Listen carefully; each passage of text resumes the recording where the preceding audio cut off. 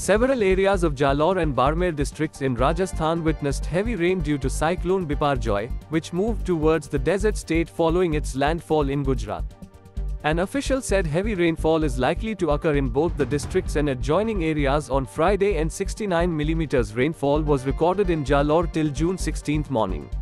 The department has sounded a red alert for Jalore and Barmer.